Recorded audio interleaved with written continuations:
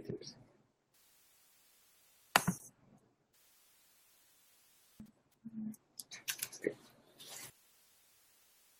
All right, good afternoon, everyone. Um, thank you for joining us today for this webinar session on NGC and UTT Natural Gas Education Workshop. I'm hoping everybody is hearing me. So if you just have any with audio or anything, just put a little message in the chat. Um, as the slide says, my name is Corey Hall. I'll be facilitating the presentation this afternoon.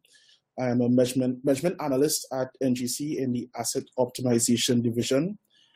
Um, particularly, I deal with the custody transfer of natural gas for Trinidad's largest pipeline, which is the 56 inch Cross Island pipeline um, in southern Trinidad. So, today for our presentation, just going to be going over a general overview of the natural gas industry, natural gas properties, how natural gas um, affects Trinidad in the local context as well as in the global context, the natural gas value chain, and moving forward. And for anyone who's interested in getting to see this presentation again after we're completed today, it should be posted to the Facebook page tomorrow. So jumping right ahead, we're going to go through the basics. Natural gas 101. If anybody has any questions, please feel free to put them in the chat and I'll try to get to, get to them as they come up. So natural gas, what is it?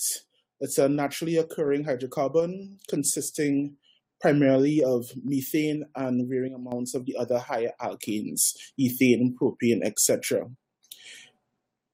It's generated by two major processes.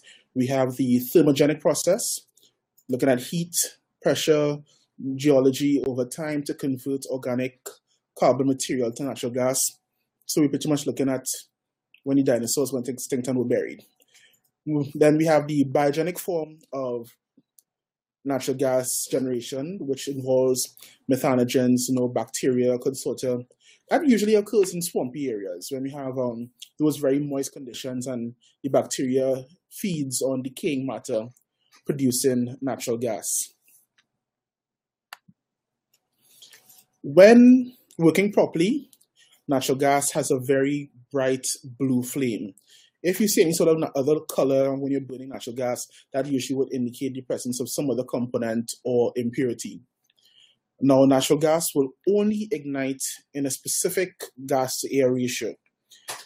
So when it looks at the flammability, if the concentration of natural gas is actually below 5%, which is the lower explosive limit, or above 15% when compared to the when compared to oxygen, you won't actually have any combustion.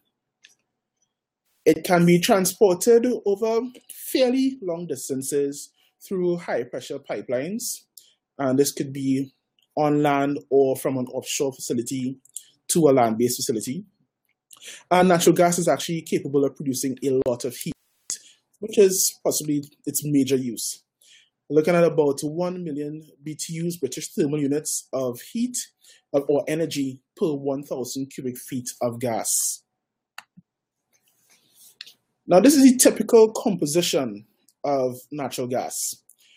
The largest component in the natural gas composition would be methane. Now, this is just a typical composition, as I mentioned. However, this composition and the proportions of the elements will actually change depending on what region of the world you may find your natural gas supply. So, look at the largest component being methane, followed by ethane, propane, the butanes, and so forth, moving downward.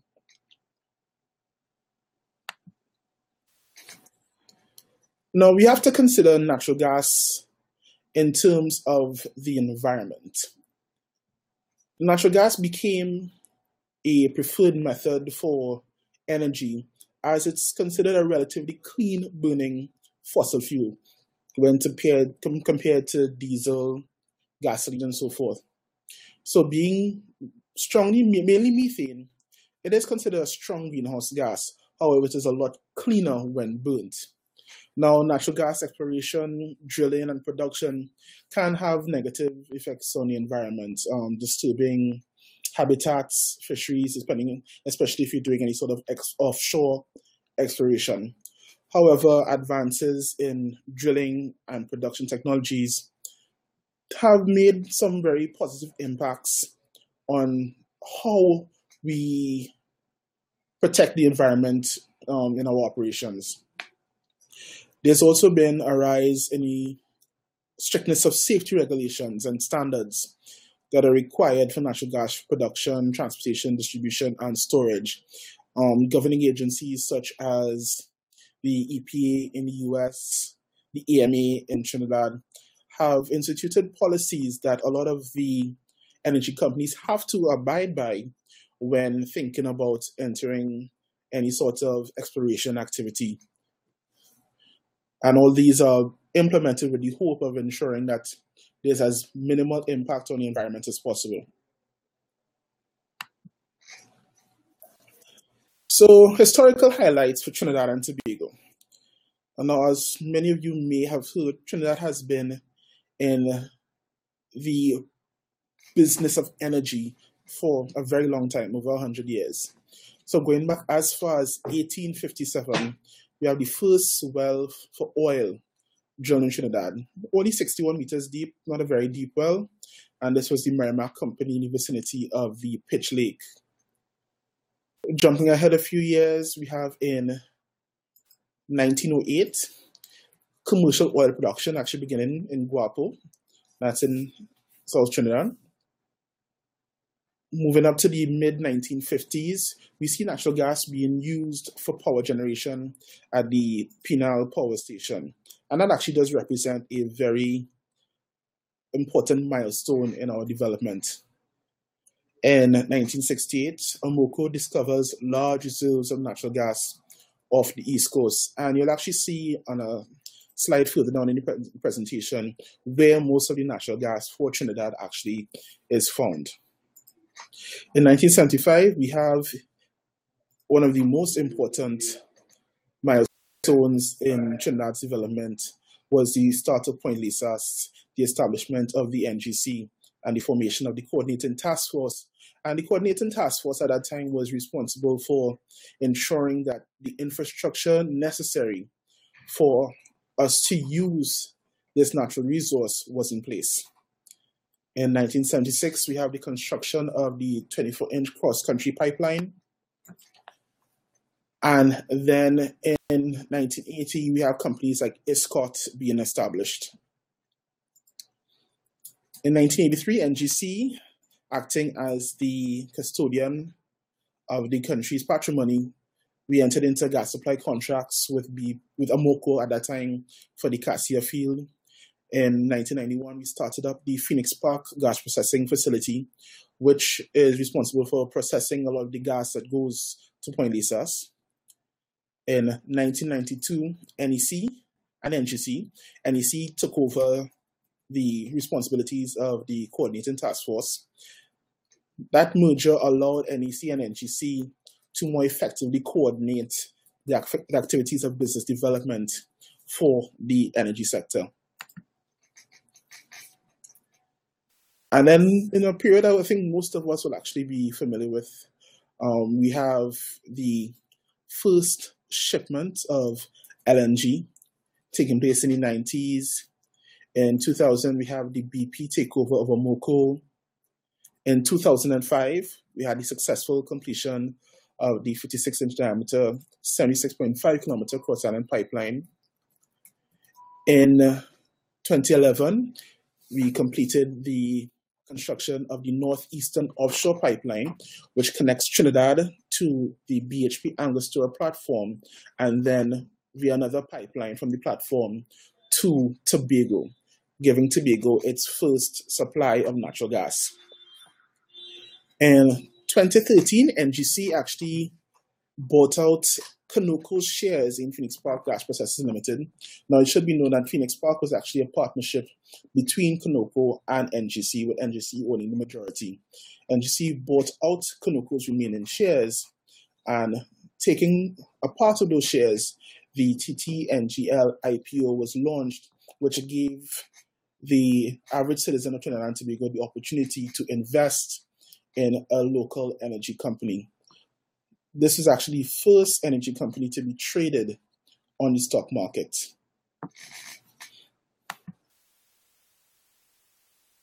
So back to some of the basics of natural gas. So where does oil and gas accumulate in the earth? So we have fossil fuels being found in the sedimentary bases, source rock subject to heat and pressure, and this is looking at the thermogenic process. The overburden squeezes oil and gas into the porous rocks, and if there's a trap that exists, an accumulation or reservoir is formed. And you can see from the graphic, there are usually three types of accumulations. We have the conventional structural natural gas accumulation with gas and water. Then we have gas being associated with oil. And then to the lower part of the diagram, we see the accumulation of gas in porous rock. And this is indicative of shale gas, which is a major source of natural gas for the United States.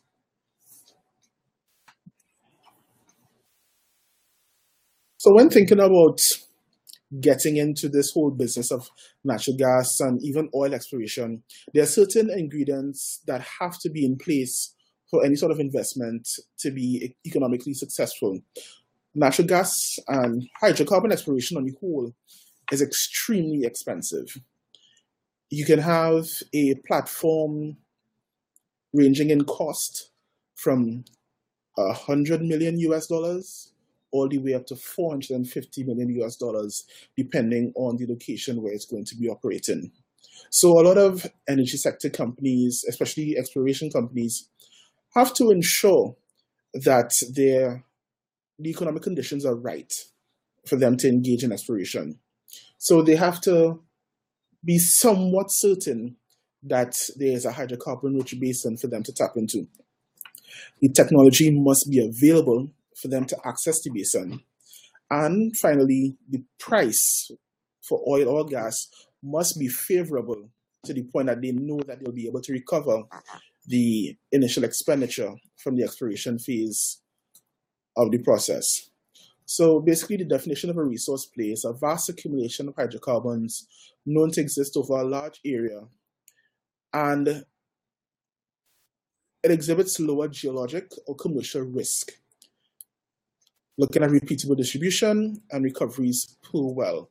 So basically what an exploration company would do when a hydrocarbon play is formed, a resource play is found, they would drill a couple wells, hoping that you get repeated pressure, volume from each well. It gives them a sense of security that once they go into actual production, that the supply will be constant, that the pressure would be good, and they will actually be able to recover based on the commodity price, the investment that they've made in exploration. So just to tie everything together, you're seeing the exploration model. We have land, we have the geology, the geophysics to back up the location for drilling, and then of course the actual exploration itself. So as I mentioned before, you know, the technology has made it um, a little bit easier for us to one, limit our impact on envir- the environment, and two, access reserves that have been traditionally difficult to get to due to whatever rock formation may be present. So usually drilling is straight down.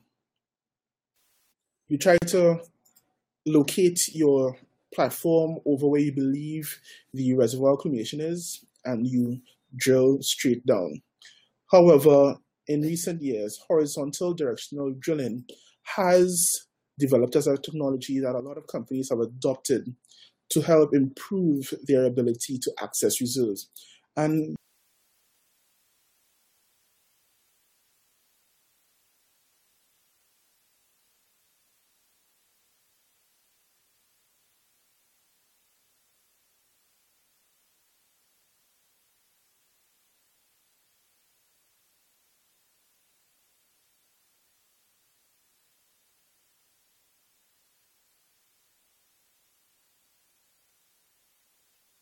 This is also very good, as I said, for helping to mitigate some of the effects on the environment.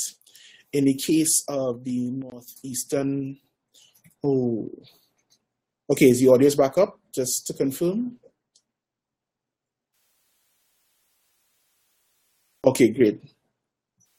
Thanks a lot, I appreciate. Okay, yeah, as I was saying, yeah, horizontal directional drilling helps us to do things a little bit safer with less impact on the environment. So in the case of the North, Northeastern Offshore Pipeline, to get the pipeline to the Cove Estate in Tobago, there is a major environmental community that surrounds Tobago. And I'm sure everybody could probably figure out what I'm talking about. I'm speaking to the coral reefs, which Tobago is very proud of. We didn't want to disturb the coral reefs, as they are often breeding grounds for a lot of indigenous fish, you know, fish and so forth.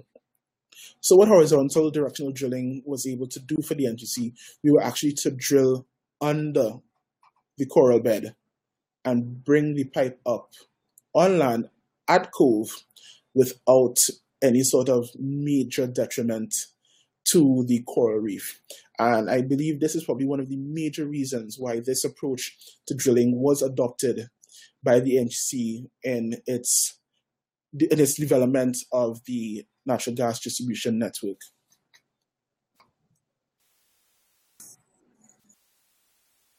So how do we get hydrocarbons to the surface? Now, I'm sure if we have any engineers listening right now, probably have the answer to this already, but for everyone else, basically perforate the casing as it is in the wellbore. Sand and water is pumped downhole to create fractures in the reservoir. The fractures are kept open by sand, and this actually allows the gas to flow freely under its natural pressure into the well and up to the surface. Now, as the life of a reservoir goes, the pressure will actually deplete over time. So there are different injection methods that companies would use to ensure that the reservoir maintains pressure, maintains energy, and try to recover as much gas or oil as possible during the lifetime of the reservoir.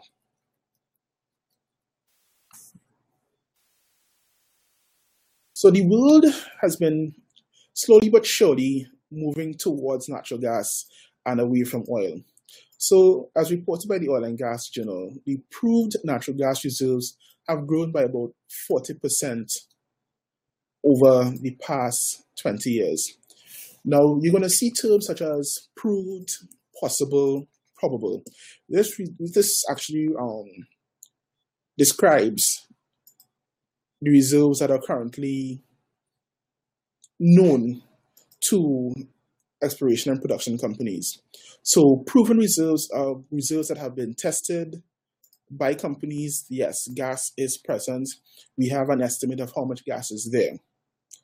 We have possible, probable, which are reserves which we're not quite sure exactly what the volume is like, how large the reserve is, but there has been some indication of gas.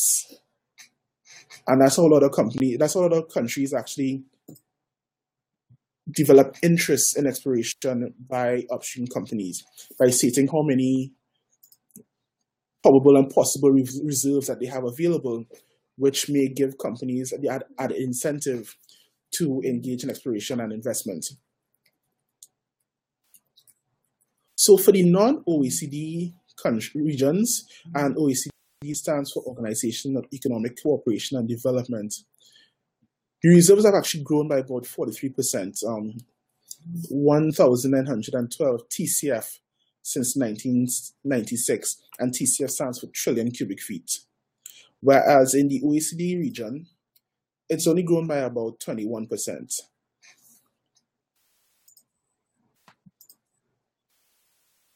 Looking across the globe, this graphic actually gives you a very interesting view of how the reserves actually spread across the world. Now, if you look to where Trinidad is, we actually see right to the south of us that our closest neighbor, which is Venezuela, actually does have some of the largest oil and gas reserves in this hemisphere, which is very interesting to us as we're always looking for people to partner with as it pertains to expanding our natural gas industry.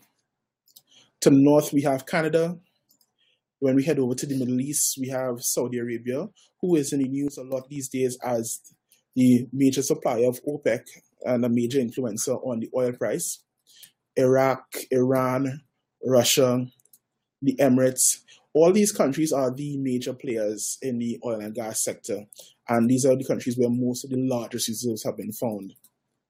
In Trinidad and Tobago's context, our energy production is about 1.813 quadrillion BTU in 2013. Consumption, only 0.842 quadrillion. Proved reserves, as of 2015, 20 trillion cubic feet. Crude oil reserves, 0.7 billion barrels. Total petroleum and other liquids, 109.7 thousand barrels per day. And that's production.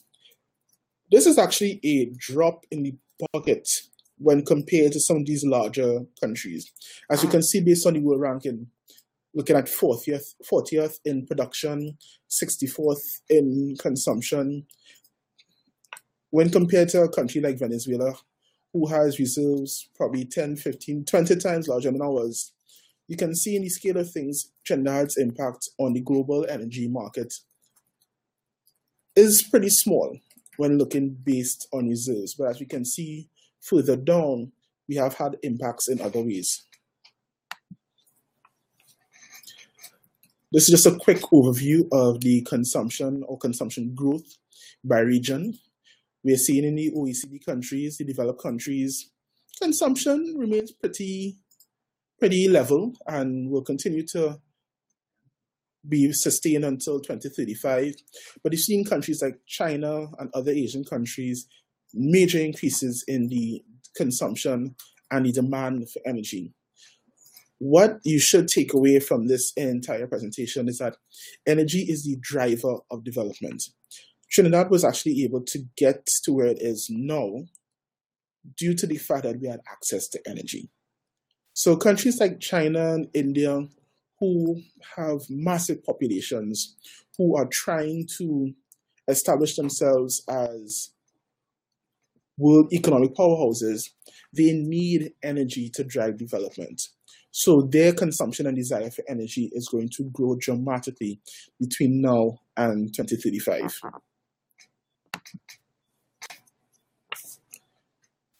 So, pricing at the end of the day, it, it sort of boils down to price. What affects the price of natural gas? What, what affects the price of oil? It's at its core a supply demand dynamic. If the demand is high, the price is high. If the demand is low, the price is low. And the demand is usually affected by the availability of supply. Severe weather can disrupt production. Very often, bad weather may cause exploration companies to halt operations at their offshore facilities for the purpose of maintaining the safety of their staff and by also to by also by suspending operations they hope to limit any sort of environmental risk that may be present as I mentioned before, growth, economic growth and development can affect natural gas demand and prices. Winter weather strongly influences residential and commercial demand. As we see in the United States during the winter, the demand for energy goes up, and as such, the prices for energy go goes up as well. In the summer, hot weather as well could lead to an increase in demand for natural gas. Why? Because everybody nowadays wants to use an air conditioning unit. So definitely in the United States where a lot of homes are essentially cooled, the demand for energy is much greater during the summer. So we see a spike in the price of natural gas and oil and diesel and other associated um, products. Storage of natural gas also does play a key role in meeting peak demand. Com- countries like the United States, they try to use expired reserves to store gas so that in the case of a shortage, there's actually gas available or oil available to meet the demand of the citizens until the shortage corrects itself. And then we have competition with other fuels that can influence natural gas prices.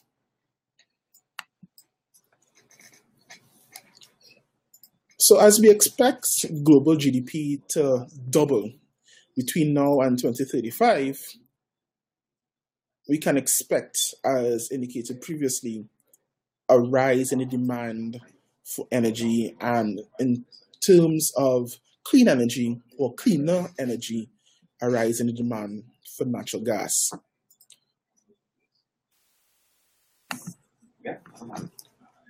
So coming back now to Trinidad and Tobago, we've gone to the global context, see how the world looks at energy. Let's see how it works for Trinidad and Tobago. So in 2014, Trinidad and Tobago was the world's sixth largest LNG exporter. And LNG stands for liquefied natural gas. We were the largest LNG exporter to the United States, accounting for about, about 71% of LNG imports in 2014, and this was mainly to the northeastern United States. Total primary energy consumption in Trinidad and Tobago was about 850 trillion BTU in 2014. And as I mentioned, looking at about 11.5, 12, 12 trillion cubic feet of proved reserves at the beginning of 2016. The largest natural gas processing facility in the Western Hemisphere is Phoenix Park Gas Processors Limited. And what Phoenix Park does, the company actually takes gas in its raw form, processes it, and supplies methane, mainly methane, to the Point Lisas industrial estate. A lot of the plants in Point Lisas prefer to have a much cleaner supply of natural gas as it is the feedstock for a lot of the products that they actually make. The other components in the gas are refined and exported, which allows Phoenix Park to actually make money from what the Point consumers would consider nuisance elements in the gas. And this is the map I alluded to earlier. This is the energy map. And I've isolated Trinidad and Tobago for the purpose of giving you an idea of where our oil and natural gas is located. So ah. those patches of green that we see in the southwest and along the southern part of the island, those are our oil fields. To the east, in the offshore region, all those red areas are our gas fields. NGC has been very fortunate because we actually do have some investments in the upstream. Even though we are mainly a transporter and distributor of gas, we have expanded our business to invest in some of the upstream operations. So up to the northeast, we have our investment in Block 2C and 3A, and that is operated by BHP. Then we have the TSP block down to the southeast, which is operated by Repsol. And then the SECC block, which is operated by EOG.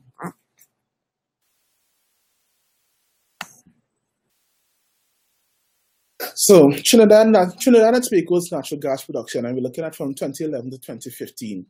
As we can see, from 2011 to 2013, production was really high and then a major drop off in 2014 and 2015.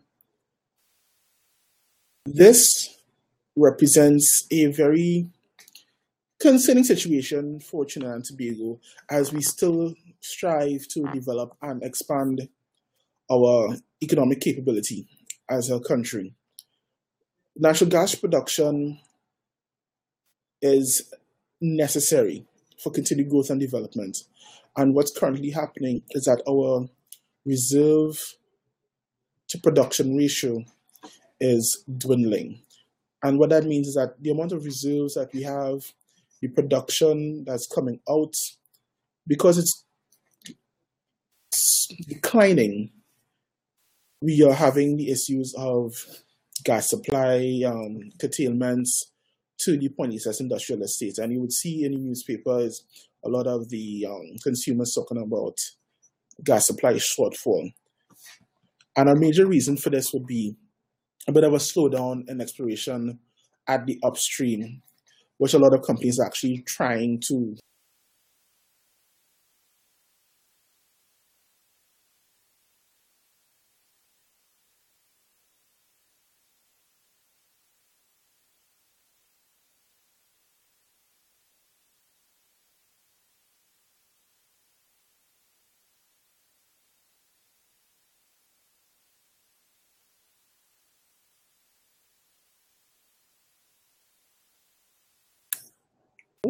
sorry, just come back in the corner. Putting mouse button. Uh, okay. Yeah, once you go to the corner. Yeah. Okay, let's check it. Is it back up?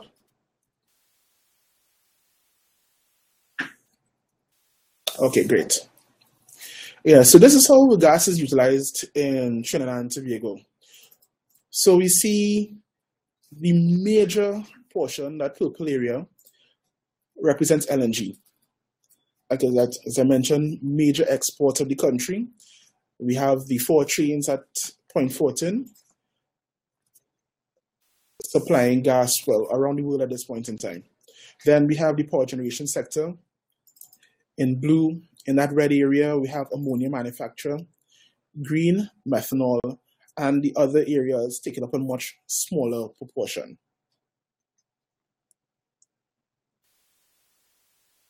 Some of the ammonia companies that we have in Trinidad and Tobago, we have Yara, formerly Hydroagri. We have Trinidad Nitrogen, PCS Nitrogen, Point Lisas Nitrogen, Caribbean Nitrogen Company, MHTL AUM. And in terms of ammonia production, looking at about 5.1 million tons of ammonia being produced in 2011. There was a significant drop in 2013 and it's been slowly creeping up back in 2015 to around 4.9 million tons being produced. Ammonia prices have been fluctuating greatly since 2011, and as we can see that post January 2015, prices are a lot lower than when they were in, let's say, 2013, which would give credence to what has been um, published in newspapers about lower prices, lower commodity prices, resulting in less revenue for the country. Jumping to methanol now, we have Methanol Holdings, which operates the CMC, TTMC, TTMC2, CMC2, and M5000 plants. We have the Methanex Corporation, which deals with Titan Methanol and Atlas Methanol. Methanol production at a high in 2011, dropping significantly in 2012, tried to catch itself in 2013, but eventually dropped back down in 2014 and has stayed somewhat constant since then.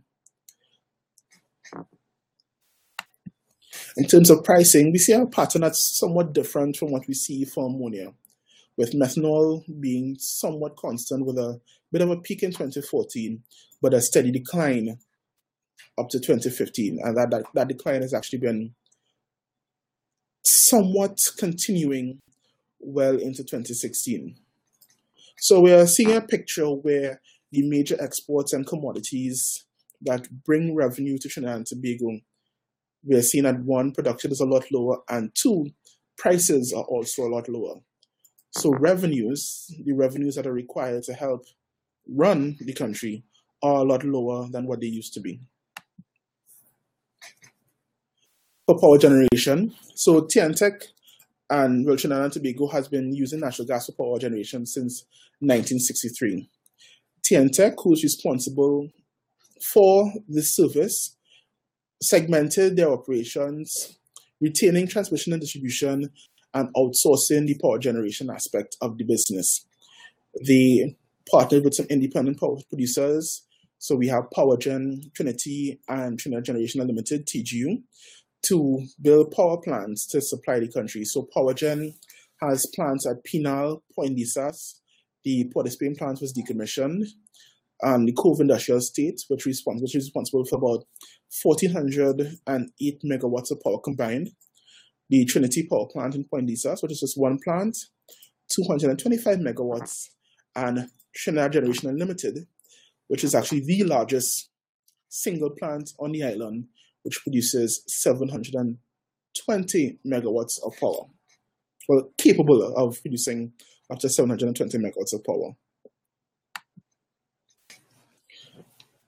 And we have our light industrial consumers. Now, light industrial consumers are the very small operations that don't require very large volumes of gas. And as you can see from the list, it ranges from companies like Air Liquide to Bermudez. Yes, the biscuit company does use natural gas. To Kiss, to Movietown, to Hilton Trinidad and Conference Center. One Woodbrook Place is actually a very unique location as they use natural gas for their central air conditioning system. And this is just a graphical representation of the consumption by the LIC consumers. So the services sector, about 25%, manufacturing and food, 19%, manufacturing for construction, 12%, chemicals, non-metallics, 20%. Up to the top, we see a 10% for CNG. And I'm sure as many of many people may have seen from the ads on radio and TV, CNG is actually gaining in popularity within the country. The major export, LNG. We have the Atlantic Company, which operates the trains in Point Fortin. We have Atlantic Train 1, which is a partnership between BP Barbados, BG Atlantic One Holdings, Shell, Sumitomo LNG, which is actually a Chinese company, and NGC. For trains 2 and 3, we have BP, BG, and Shell being the major shareholders. And then Atlantic Train 4, which is the largest train, the parties are BP, BG, Shell, and NGC.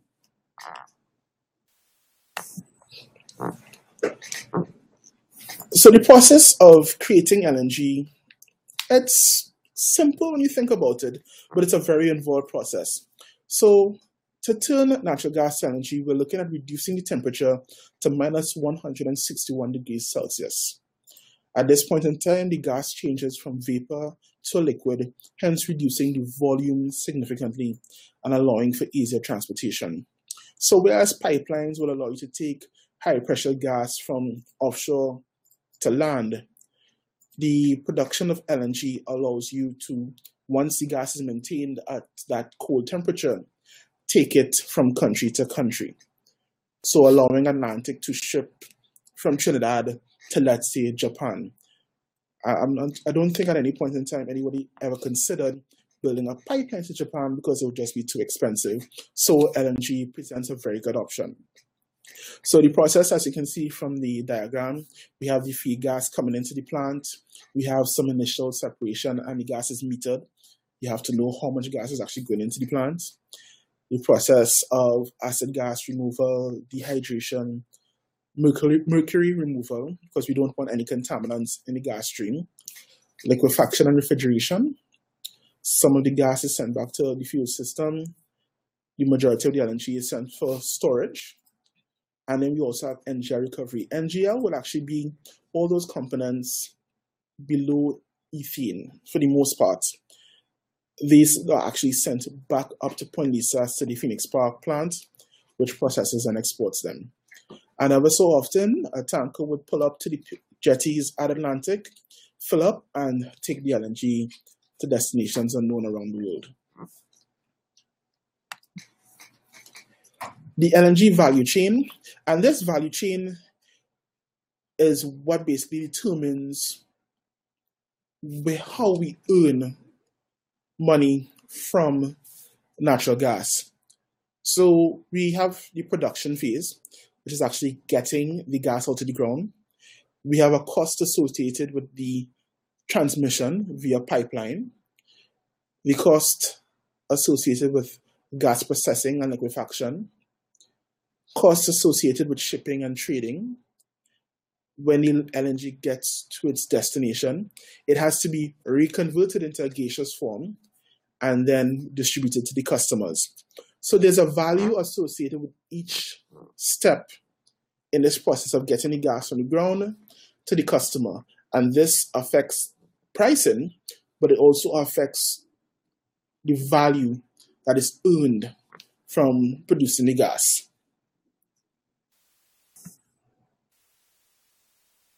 So these are just a, this is just an idea of the prices for LNG around the world, and this is just in May 2016. We have Cove Point in the US, $1.78. go down to Rio de Janeiro in Brazil, $4.74, all the way to Japan at $4.55. Now, a few years ago, this wasn't the picture. In Cove Point, the price was actually closer to $5. In Rio, closer to 10. Japan, closer to 15. So we've seen a major drop in the price of LNG across the globe, which once again results in lower revenues Trinidad and Tobago. So I'm hoping I'm painting an accurate picture of the scenario that's currently facing us as a country. So, going forward, what do we need to do to ensure that this sector remains active, it remains viable, that it continues to be a driver of growth for Trinidad and Tobago? So, on the upstream, we have to ensure that acreage is offered at regular intervals to ensure reserve replacement. And what this simply means is that the offshore area of Trinidad and Tobago has been divided into blocks that companies can bid on. The geological information for the block is provided, and companies can actually look at it and assess it and analyze it and determine if the geology would indicate that there's a viable resource play available for them to explore. They will then get the option to bid on the block, and once successful, they then have a requirement to actually do work to determine if the block can produce, or if they don't, they'll have to give it up after a certain period of time. We also need to explore cross-border partnerships. As I mentioned, Venezuela is very close by, large reserves. It's a partnership that we could possibly consider getting into. However, due to the current economic climate in Venezuela, I'm not quite sure how we will progress with this, but I know discussions are always taking place. In the downstream, we have to look at the development of new projects and expansion of the infrastructure to support the industry's growth. Now, I would I know some people probably asking, well, if the gas isn't there, why would we want to expand infrastructure? Companies would always want to know that there's somewhere for the gas to go. There's no point in going to explore and find gas if there's nowhere to send it. So if there are companies who are actually interested in putting down operations in Trinidad and Tobago and are looking for a gas supply, this now adds added incentive to exploration companies to engage in exploration and go through the process of getting gas to market.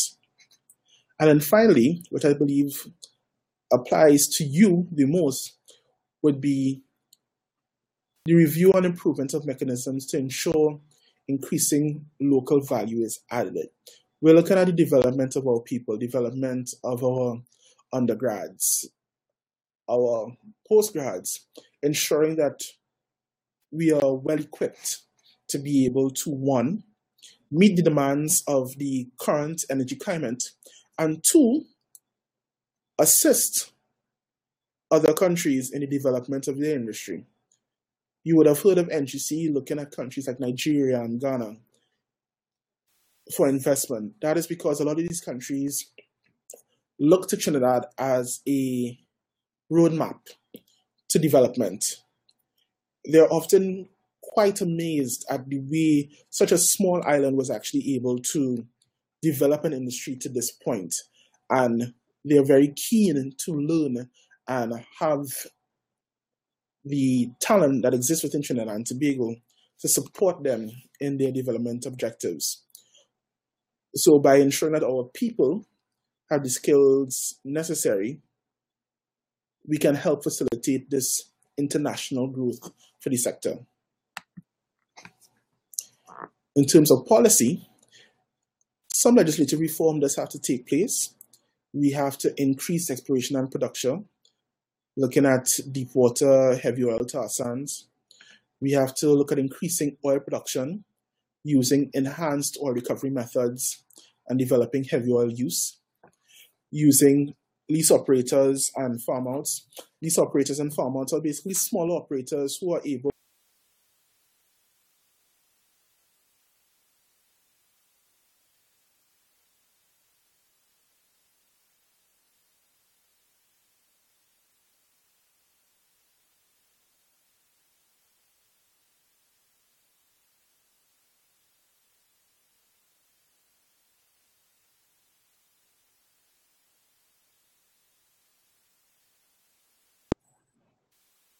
Anybody hearing me now?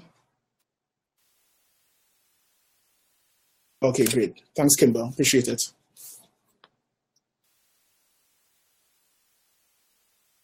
Yes, um, in gas, we have to look at aggressive exploration to, to improve our reserve to production ratio.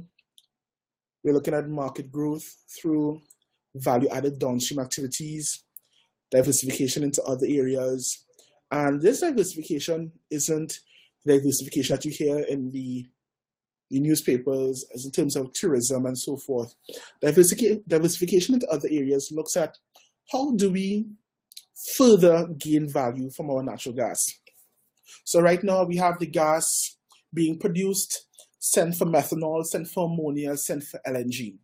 And at that point, we stop earning value from the natural gas. Whereas there are so many other processes, processes that would take these products and further refine them into new products, which we can also gain value from. So we have a new facility being proposed for the Union Industrial Estate, which is the Caribbean Gas Chemical Methanol Plant, um, commonly referred to as the Mitsubishi plant. A part of that plant would be the production of a product called DME, which is a byproduct of methanol, which can be exported, which can be used to earn revenues. So diversification is looking at taking what we currently produce and finding additional ways to have it make money for us. We have to look at operating externally, operating outside of Trinidad and Tobago, looking at international investment, and also looking at reforming of the gas market merchant model. How do we price gas? Where the, what are the best markets for us for our products so that we earn the most revenue available? Energy policy drives everything so the policies have to be in line with the goals of the country. So in terms of power generation, we have to look at implementing policies that promote efficiency, reliability, and accessibility, legislative reform to support renewable energy. You're probably wondering why renewable energy? What does that have to do with natural gas? When a household decides that they're going to install a solar panel on their rooftop, and start producing their own energy, they sort of offset their supply from TNTEC. Once TNTEC has enough customers just generating their own energy, demand falls, therefore TNTEC needs less gas. That means gas can be diverted to another area where it can once again gain value. Um, alternative energy legislative incentives to promote the use, both on the demand and supply side, um, expansion of CNG as a alternative vehicle fuel, fiscal incentives for renewable energy, continuous reform of the natural gas legislation, the production sharing contract framework to promote continuous exploration and development, a local content policy framework has to be looked at, and the legislation to support the services sector growth and the leveraging of export potential. And this is once again speaking to our ability to market ourselves internationally as not only a source for financial investments, but a source of expertise, expert labor, services that support energy sector development.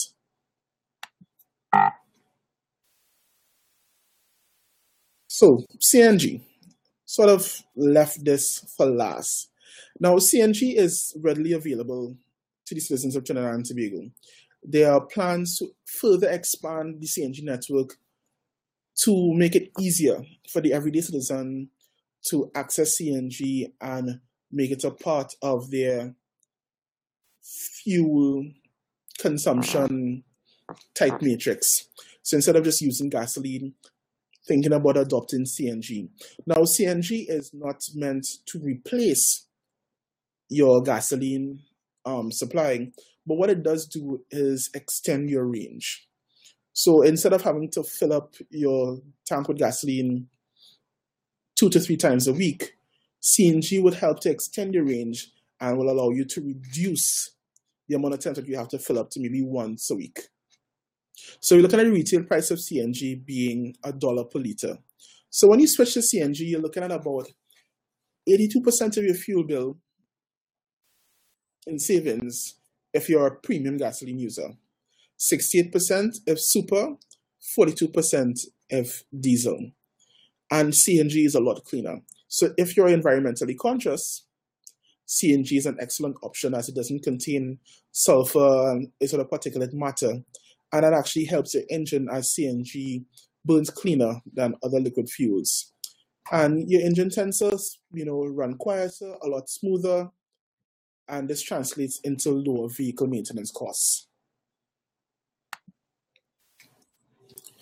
For Trinidad and Tobago, being more, more environmentally friendly, you know, CNG produces 25% less carbon dioxide than gasoline and 35% less than diesel. It has a higher octane rating than gasoline ever can. And CNG engines reduce noise pollution by running, as I said, smoother and quieter than gasoline or diesel engines.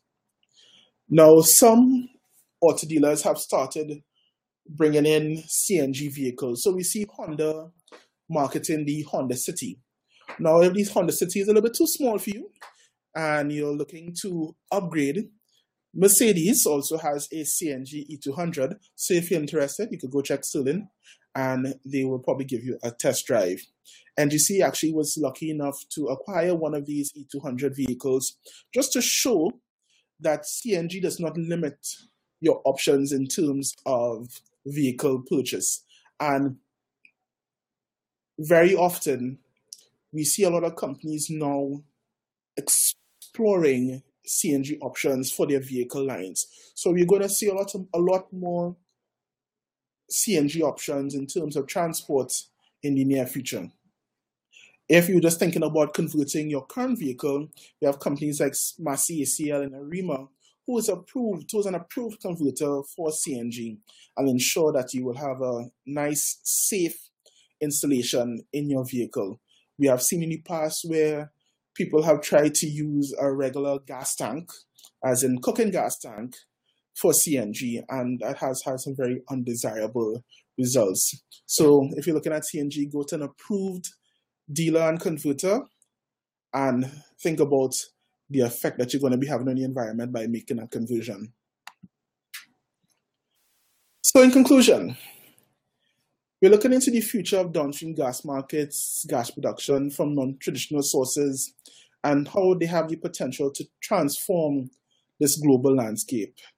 Um, emerging shale gas production in the United States has brought the prices for gas down and it's encouraging actually revival of some idled ammonia and methanol plants and the construction of new facilities that will commence operation over the next few years. So that does mean increased competition for our local producers.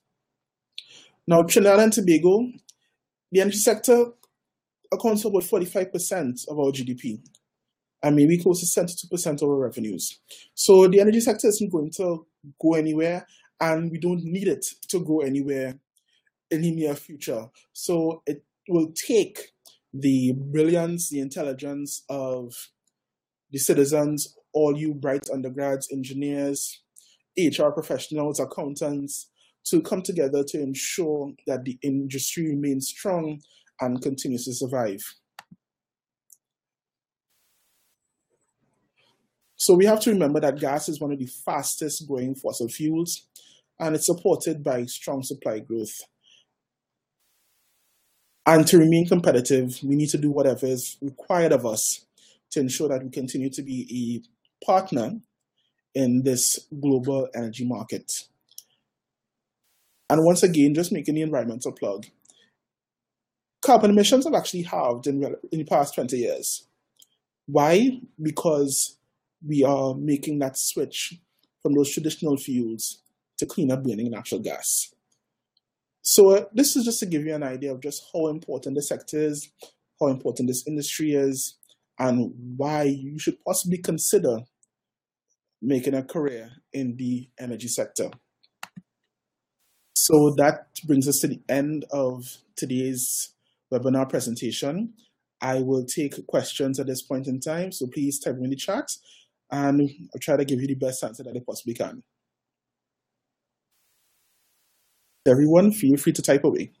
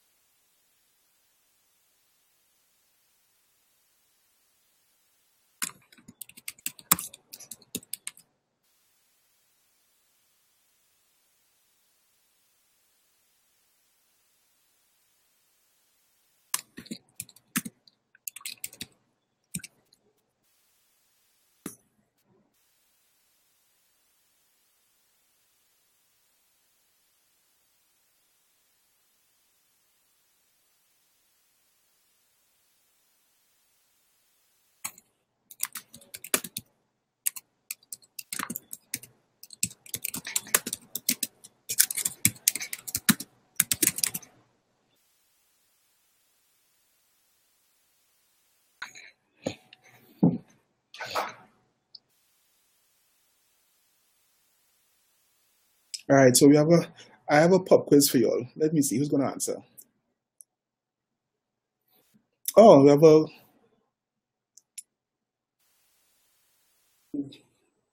okay, everybody who's listening. Yes, methane, that is the major component. Lisa, as for your question, is growth to be seen is growth expected to be seen anytime soon with respect to gas exploration? Now that's a really good question. Um, exploration is actually a very long process. So you may find gas today and actually not be able to get it to market until maybe three to four years down the road because you have to put the infrastructure in place to ensure that you can actually safely get the supply to market. So our growth right now will actually be supported by companies looking at ways to improve supply from the current current reservoirs. So you would have seen in newspapers a project called TROC being sanctioned. What this stands for is Trinidad Regional Offshore Compression Project, and what they will do is decrease the pressure at the wellhead to ensure that more gas flows from the wells. Bring it into the network where NGC and Atlantic will then compress the gas back up to a workable operating pressure to supply the estate as well as supply Atlantic. So what will happen is that in this period, we will just simply try to offset with improved operation until newer reservoirs come on stream. And Tony, to answer your question as it pertains to the age of our assets and the risk, a lot of companies have invested a lot in asset integrity management. So they have done what they've what they can to ensure that the assets still remain viable, even so, even though some of them are actually approaching their design life. So a lot of the offshore platforms have been operating for a very long time, but companies are constantly ensuring that um, the measures are, are taken to rehabilitate, repair as often as possible to ensure that the facilities can continue operation. So risk minimization is actually a major part of how we conduct our our business.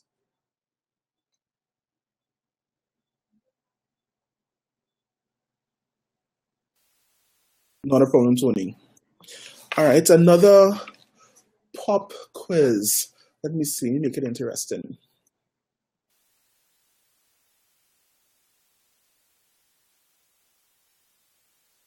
Who can give me a very quick example in the local scenario of how horizontal directional drilling made an impact on the energy sector? Nothing long, really quick.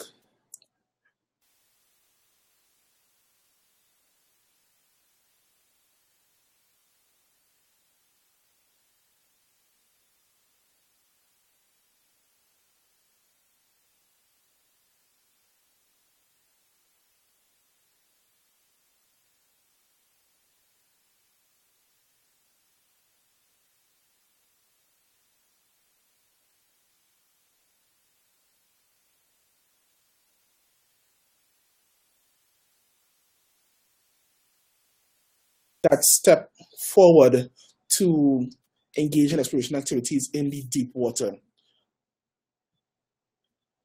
And we also have BP, who's actually looking at reevaluating a lot of their acreage to with newer technology to see if they can identify newer reserves closer to the shore that they'll be able to tap into. So there's a lot of work going on right now to help jumpstart this whole exploration process all over again.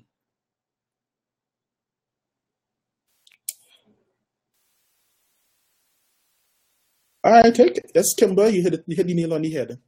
Oh, Lisa, just to oh, just to repeat, yes, um, companies are already are always planning, looking at options and waiting for the right conditions to engage um, engage in exploration activities. So BHP did a lot of work, did a lot of analysis and research, and just recently started some work in May in the deep water and BP is currently looking at re-evaluating some of the acreage that it currently has with newer technologies to help pinpoint reserves that haven't been tapped as yet. And just to answer Tajay's question about employment, now right now, due to the environment, the aren't, jobs aren't readily available. However, with the projected growth and the direction that the country is taking, is you hope that we're actually going to be able to, one, start finding places for a lot of our undergrads and postgrads ah. who have been studying and developing their skills, and also looking at options for exporting a lot of our talent. You, you, you hear the stories about Trinidadians going to some of these other countries and actually performing really well in helping those countries set up whether it be plants or pipelines. So where the the scope has changed dramatically from just being staffing local operations, but also how we look at international operations as well. And Tajay, so you have a nautical science maritime operations background. And it's very, yes, it would be very, very difficult at the moment. The downturn in prices and in, for the energy sector has had a very significant impact on employment opportunities within the industry. We actually have a lot of very skilled people on the market right now looking for jobs who have the experience which a recent undergrad may not, a recent graduate may not have. Um, what I would suggest at this point in time, and this is advice I give to everybody, this is actually a good time to continue learning.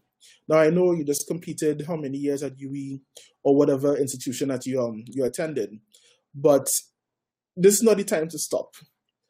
What I would advise is that okay, so you have your background in nautical science and maritime operations. Do you have any sort of experience in business? And I actually I actually recommend to a lot of engineers and people with that very scientific type background to look at increasing your knowledge of business practices, finance, accounting. Why? Because a lot of companies are looking for very versatile employees at this stage in the game. You actually have to be able to fit in within any parts of the structure. So, yes, you could end up working in a department that deals with nautical science and maritime operations, or you can be assigned to the department that looks at developing opportunities, business opportunities within the area of maritime operations. So take this time to further your knowledge of the industry, the knowledge of business practices, and how they can connect with your core competency. So that when the energy sector rebounds as it usually does because this entire energy sector is a cyclical thing. This has happened in the past and it will probably happen again in the future. There's there, there, there are highs and lows within the sector. So just keep at it, just keep learning, keep developing yourself.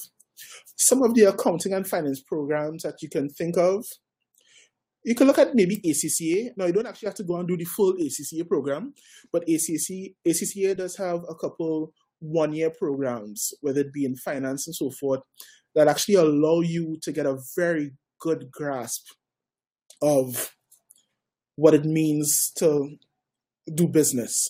For example, my degree is actually in pure and applied mathematics. However, to keep pace with what's going on in the sector, I am currently trying to wrap up an MBA. So even for those of us who are actually in the sector, we ha- you always have to keep refining your skills and expanding your skills. So don't look at the lack of jobs now as a as an obstacle, but look at it as an opportunity to make yourself just that much more attractive when things are to rebound.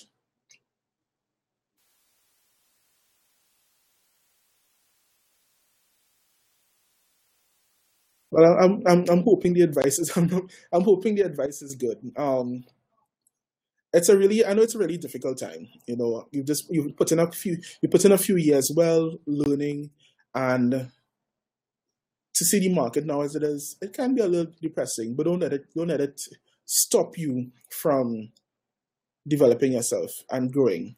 Someone told me a very long time ago, all a BA does, it, all it means is begin again. And that's what a lot of us have had to do to ensure that we remain competitive. And that's the advice I would give to you. Any other questions from anybody else?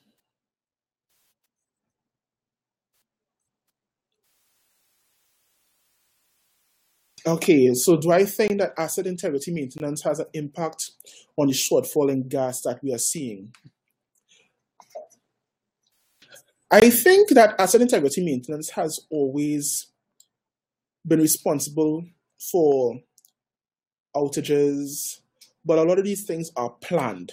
So a lot of companies have scheduled maintenance works that will ensure that their operations continue.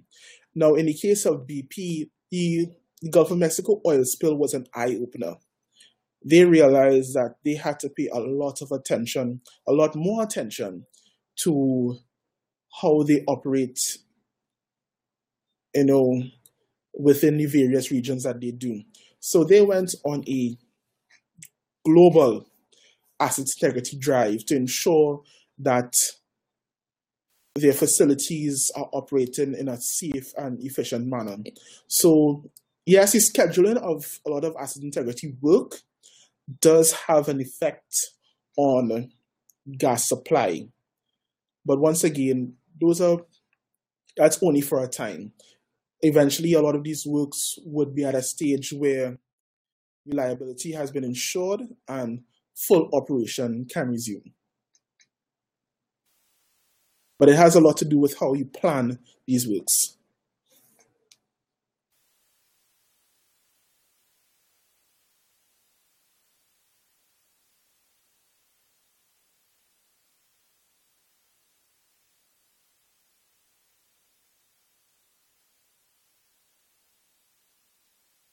Okay, Chanel, that's a really good question. HSE.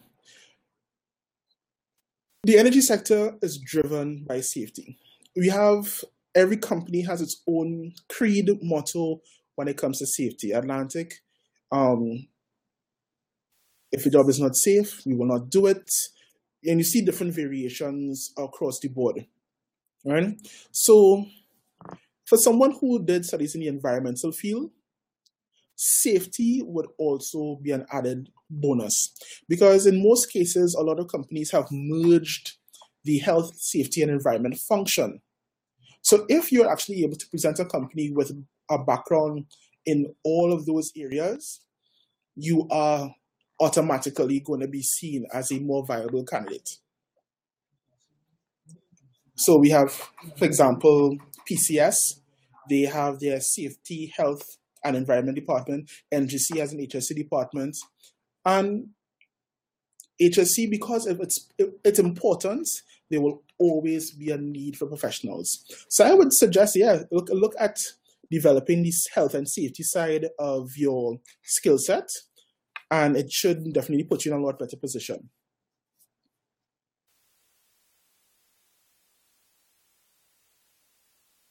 Not a problem.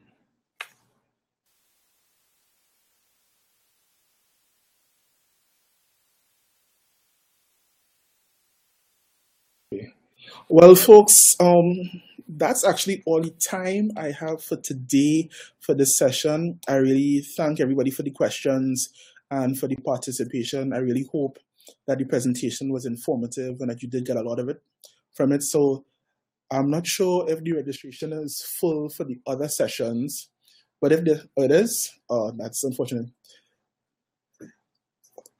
Well, yes, the next presentation should be on Thursday. Yeah, Yeah. And everything will be made available online on Facebook, at least this presentation tomorrow, and I believe for the other presentations the following day. So you could always go back and um, take a look at the presentations. My email is actually on the first slide, so if you have any questions, feel free to email me and I'll try to get back to you in as timely a time frame as possible. So once again, thank everyone for your participation today and continue continue developing yourselves, continue focusing, and hopefully I'll be working with you sometime in the near future. Have a good evening, everyone.